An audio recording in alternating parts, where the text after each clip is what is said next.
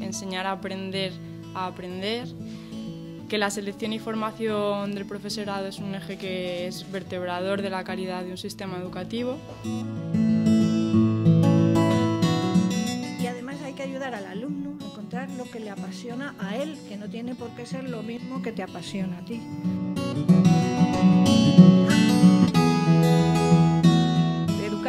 Es ganarse la vida, sino es ganar la vida de los demás. Me ha encantado esa frase.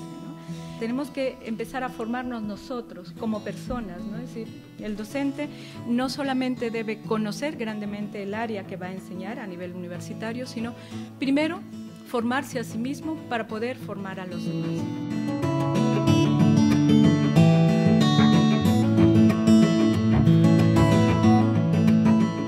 El humanismo humanística como algo eh, que tiene que estar impregnado dentro de ese proceso de formación y de traslación al alumno de mm, todo lo que es tu saber, tu conocimiento, pero también tu saber enseñar, tu saber aprender, que el alumno pueda realmente mm, pueda beneficiarse de ello y entre todos hacer que la institución educativa, en este caso la universidad, que es el tema que a nosotros nos interesa más y nos focaliza, se convierta, o sea, eso, una institución transformadora.